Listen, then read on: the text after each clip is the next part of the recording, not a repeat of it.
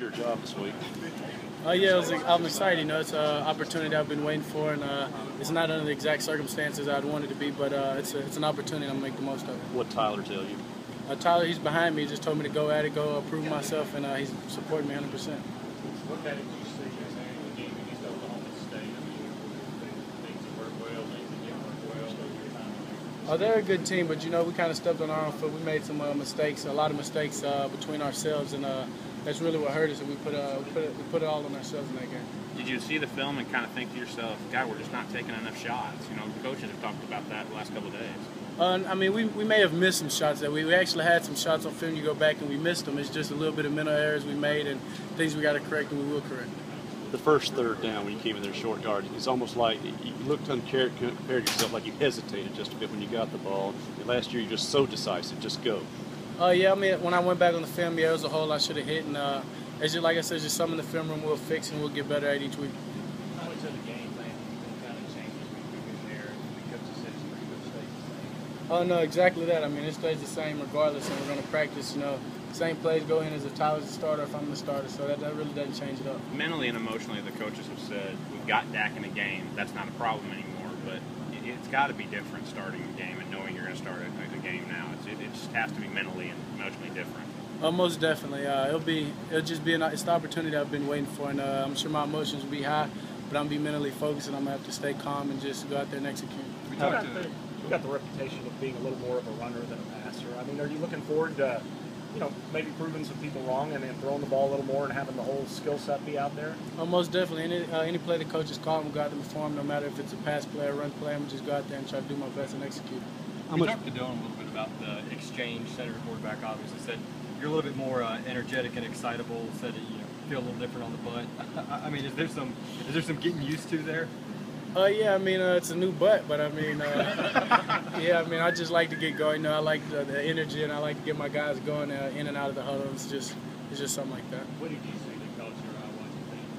Dillon it's a lot of little things. Exactly, it's just a lot of little things, a lot of mental errors we made, and things that are easily fixable. And it's just we'll we'll have to do, it, and that's with a young team, and we'll fix it. It's easy to say. I mean, you've been preparing for this, but when you actually get out there and start watching that film and know you're the guy, do you see anything different? Do you look for anything different? Um, not exactly. You know, so I, it doesn't matter what week it is or who's the starter. I'm gonna go in there pretending like I'm the starter, and I'm gonna uh, uh, get prepared mentally that way. So it's no different.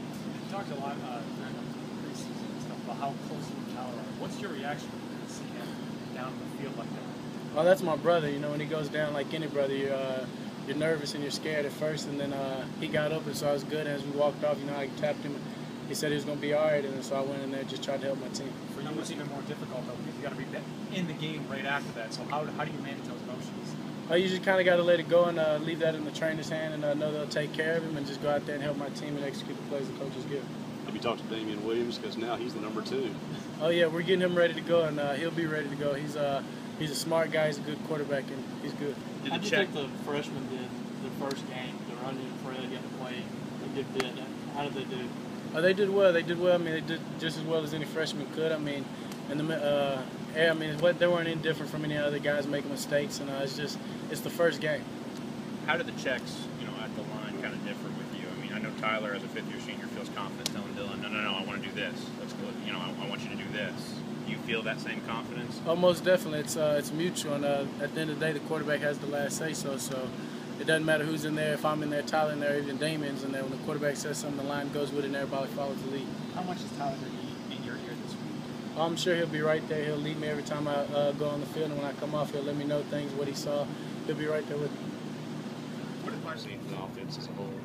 Uh, you know, I mean, we did some good things and we definitely did some bad things. We, we were on pages with a lot of things, and there was just a lot of times it was just you know one guy here, one guy there. But I mean, it's all correctable things, and we'll definitely bounce back. Did you feel like the interior guys were getting thrown? I mean, getting pushed backwards? I mean, they've got some two good, pretty good defensive tackles, but did you were you frustrated by the push they were getting?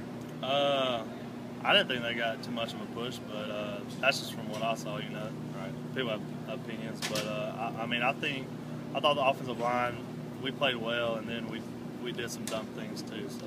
Brandon said it wasn't so much after you know the success y'all had early. He said it wasn't so much what Oklahoma State was doing different as things y'all weren't doing. Mhm. What were some of those things that y'all kind of got away from that first couple of drives? Well, you know, uh, we knew what they were going to do, and we had a great plan to do it. I mean, it was just poor execution on really everybody's part, and uh, I mean, I don't know. It was just it was the littlest things, like maybe someone going the wrong way, or someone missing a block, or you know, making a wrong read. Or, but it's it's all correctable things, and nothing like is a big issue. So. How do things change for an offensive lineman if, if Dak goes? You know, just because he runs a little more. I mean, how, how does it change for y'all?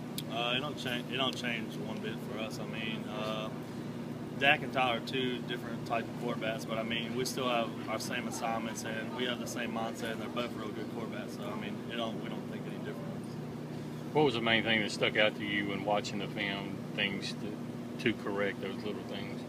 Little things. I mean, just your technique stuff, the stuff we work on every day, and uh, just people, everybody really, you know, uh, messing up on it. So I mean, the little just techniques, our steps, and just stuff like that. I mean, How critical is it to turn into a positive, like saying, okay, we now have a measuring stick of where we are, where we thought we'd be, what we need to work on? I mean, uh, so, Danica was messing with me. I, I it all sorry. What was the question again? Just about how valuable that game can be turned into. You don't want it to be a measuring stick, but you can use it that way. Oh, you know, Oklahoma State, they're a real good team, you know, and uh, they made the least mistakes. So, but uh, I mean, it was two good teams battling, and they just happened to make the least mistakes. And I mean, it just shows us uh, we're so close. It's just the littlest things that we got to fix. As an offense, when you're on the pl- on the field for six plays in that third quarter, is it how difficult is it to get into a rhythm when you don't have that many opportunities? Uh, that is a tough thing, but I mean, you know, we're going over plays on the sideline, you know, when we're off the field, so we're always working on stuff. But yeah, definitely when you're not, you know, on the field much, it's hard to get in the rhythm. But I mean, yeah, that's just that's going to happen, and you just got to fight through it. So. Just complete confidence in your boy Dak. Oh yeah, Dak's a great quarterback. So. Do you have to do maybe have more insight on the checks? I mean, Tyler seemed to have that down. You had a chemistry with him on, on what he saw on the line. I mean, it seems like kind of it's more in your hands now with Zach. Is that more or less accurate? Uh, I wouldn't say so. Maybe a little bit, but not really. You know, Dak's still a young guy, and he hasn't played you know you know too much, but he knows everything to do. He's just like Tyler. I mean, he's, he's real smart too. So I mean, he knows all the checks and knows all the reads. Too. What's the chemistry that needs to be had between the quarterback and the center? I mean, a lot. we. You definitely got to be on the same page, you know, because he's calling out the protection and I'm calling out the protection. You know, if we get off pages, it had the running back going the wrong way, blow a protection or something like that, or even like uh, just a missed assignment on the run play. I mean, it's, it's a pretty big deal. So. How, and how much have you been working with Dak, say maybe into the summer and the spring and all that? Uh, me and Dak are real close. I mean, it's not it's not a problem at all for him being in for me. So I mean, I'm real close to him. So What was your him. What was your perspective when I mean when you see Tyler face down on the field and he's not moving? I mean, Jamie Uh, said, "Hey, he." oh, He's like, "Holy crap, he's not Yeah, moving." that's uh, dang, that's one of the scariest sights. You know, you can see you're just right there. You, you know, you don't know what to do. and You're just looking at them, and uh, you're just hoping for the best. You know, but that's a wow, that's a bad feeling. But I mean, there's not much you can do. But Did you take any snaps with Damian too? oh yeah, you, uh, they got him and Ben Beck with uh, rotating as ones. As a one, and I think they're just going to determine who does better. And you know, this week of practice, and that, that's who's going to be So have you snapped to The Damian Wi- at all? Williams, the quarterback. Oh, Yeah. oh, okay, my bad. Yeah, You're good. Yeah, uh, yeah, we did inside drill with Damian. You know, they rotate the quarterbacks, so yeah, we've taken some snaps with him. So if he has to come in the game, we'll definitely be His prepared. life just changed a lot Yeah, this week. yeah, you know, it's just one small thing now. So Might you know who he is by Saturday? That, uh, I, you can only hope, right? right.